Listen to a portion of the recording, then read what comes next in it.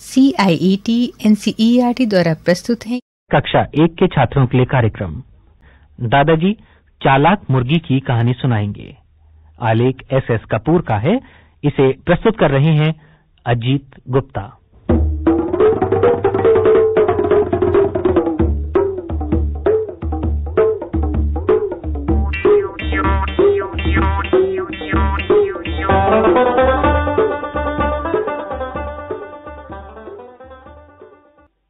दोस्तों, जय हिंद।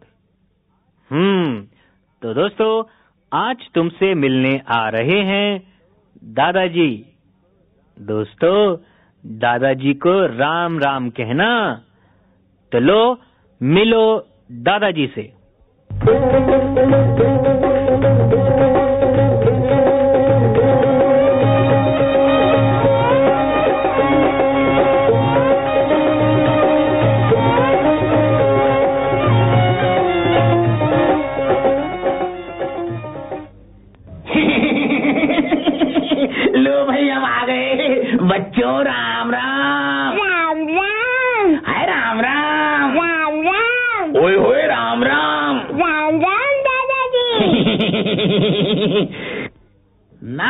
कुछ खाना ना कुछ पीना अब तो बस मुश्किल है जीना।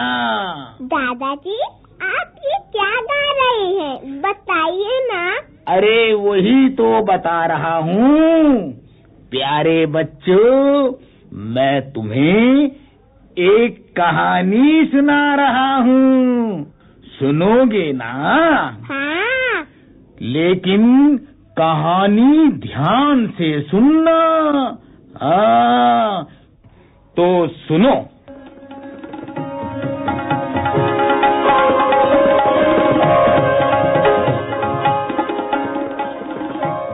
बहुत दिन पहले की बात है बच्चों। किसी गाँव में एक किसान रहता था। प्यारे बच्चों, वो किसान कहीं से एक मुर्गी ले आया। वो मुर्गी बहुत चालाक थी। एक दिन किसान ने अपने बड़े बेटे को बुलाया और कहा, बेटे, इस मुर्गी को जंगल में दाना चुगाने के लिए ले जाओ। लड़का पिताजी की बात सुनकर मुर्गी को जंगल में ले गया। तो बच्चों, जंगल में मुर्गी ने पेट भरकर दाना चुगा। जब शाम हो गई तो किसान का बेटा मुर्गी को घर ले आया। किसान ने मुर्गी से पूछा, क्यों री मुर्गी रानी? पेट भरकर तुमने खाया पिया ना? तो जानते हो बच्चों उस मुर्गी ने क्या जवाब दिया? पूछो क्या? क्या जवाब दिया? ओए होए तो इसमें पूछने की क्या बात है? वही तो मैं गा रहा था।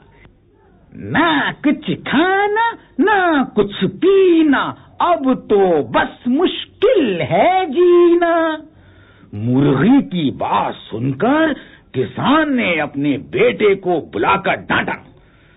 तुमने मुर्गी को ठीक से दाना क्यों नहीं चुकाया तुम इतना सा काम भी नहीं कर सकते।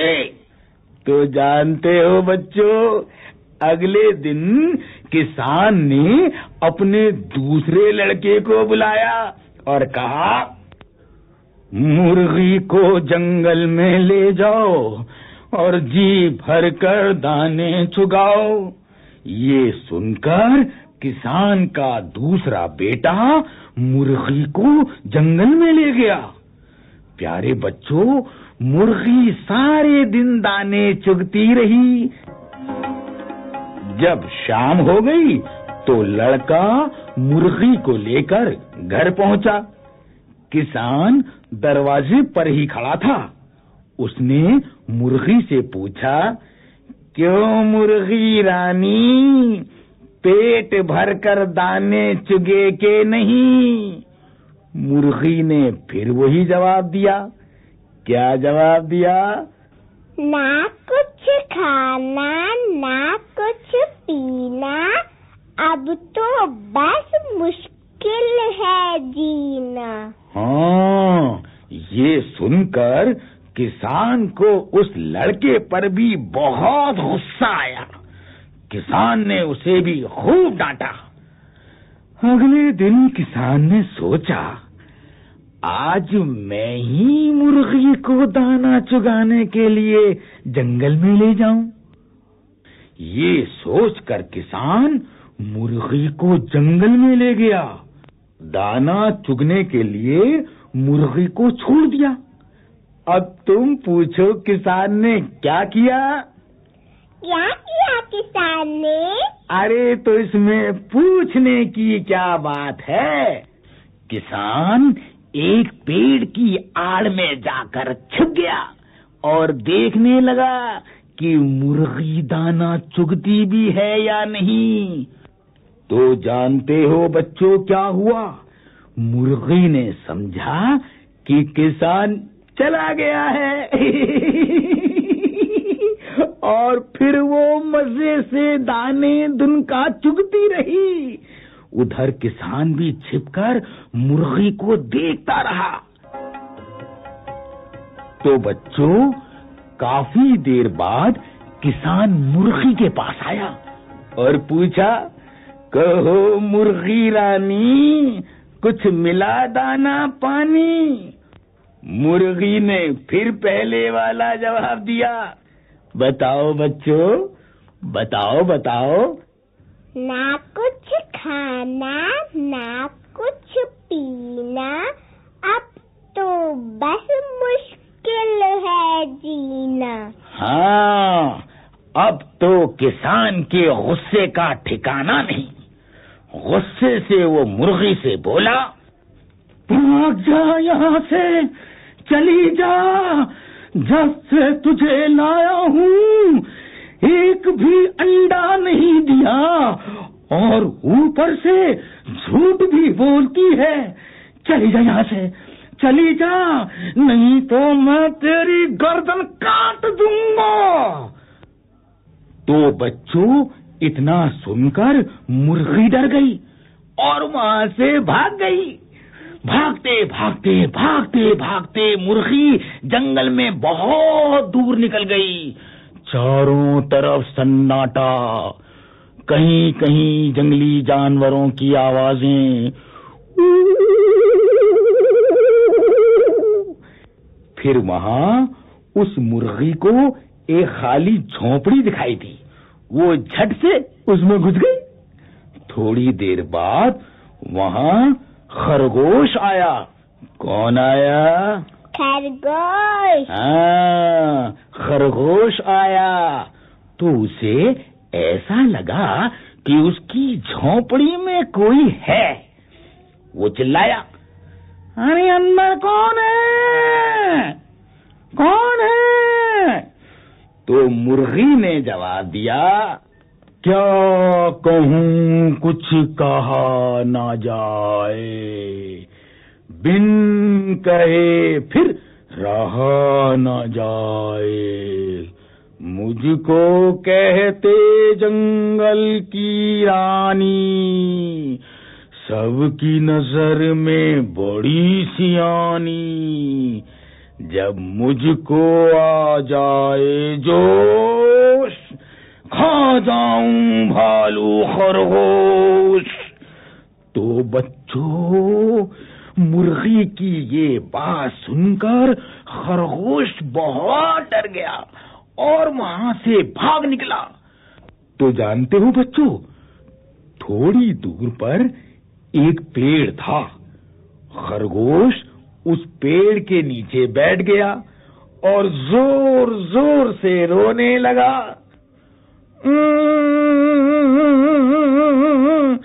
तभी वहाँ से एक भालू गुजरा। कौन गुजरा? भालू। हाँ भालू ने खरगोश से पूछा क्यों खरगोश भाई क्यों रो रहे हो? खरगोश बोला भालू भैया क्या बताऊँ? पता नहीं कौन घुसाया है। मुझे उससे डर लग रहा है। भालू बोला, बात इतनी सी बात है, मैं अभी उसे भगाता हूँ। तो बच्चों, ये कहकर भालू खरगोश की झोपड़ी की तरफ़ गया। वहाँ जाकर गुस्से से बोला हाँ कौन है जो इस झोपड़ी के अंदर बैठा है? बाहर निकल हम जानता नहीं मैं कौन हूँ? तो प्यारे बच्चों मुर्गी ने भालू को क्या जवाब दिया? क्या कहूँ कुछ कहा न जाए बिन कहे फिर रहा न जाए। मुझको कहते जंगल की रानी सबकी नज़र में बड़ी सयानी। जब मुझको आ जाए जोश खा जाऊँ भालू खरगोश। हाँ तो बच्चों जानते हो फिर क्या हुआ? भालू भी ये सुनकर डर गया और खरगोश से बोला भैया खरगोश भाई तुम्हारी झोपड़ी में तो सचमुच कोई खतरनाक जानवर आकर बैठ गया है। मुझे भी उससे डर लग रहा है। भालू की बात सुनकर खरगोश फिर रोने लगा। तभी वहाँ से एक केकड़ा गुजरा। कौन गुजरा? केकड़ा। हाँ केकड़ा। खरगोश को रोते देखकर केकड़े ने पूछा क्यों भाई? क्यों रो रहे हो? बात तो बताओ। शायद मैं ही तुम्हारी कुछ मदद कर सकूँ। खरगोश रोते रोते बोला केकड़े काका कोई मेरी झोपड़ी में छिपा बैठा है? वो बाहर ही नहीं निकलता। मैं बहुत परेशान हूँ। तो बच्चों केकड़ा खरगोश की झोपड़ी की तरफ़ चल दिया। वहाँ जाकर उसने आवाज़ लगाई। हे जो कोई भी अंदर हो बाहर जल्दी से आ जाओ। अंदर से फिर वही आवाज़ आई। क्या कहूँ? कुछ कहा न जाए, बिन कहे फिर रहा न जाए।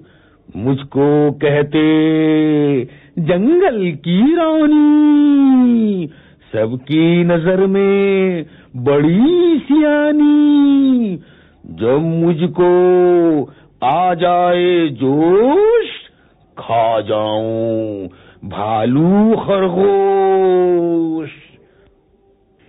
बच्चों, मुर्गी की ये बात सुनकर केकड़ा घबराया नहीं।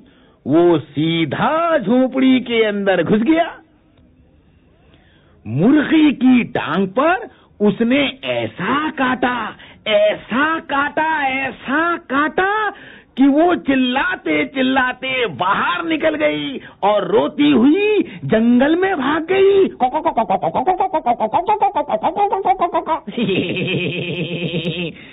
इसके बाद केकड़े ने जाकर खरगोश से कहा जाओ खरगोश भैया तुम्हारी झोपड़ी से मुर्गी को बाहर निकाल आया हूँ अब तुम खुशी से वहाँ रहो।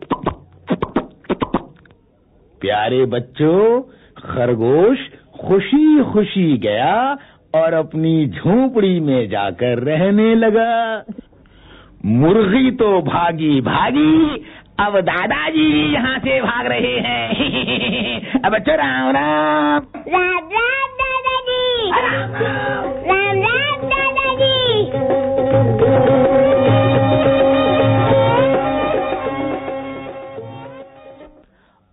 दोस्तों, कार्यक्रम का समय समाप्त हो रहा है। तो भाई, सब कहो, जय हिंद।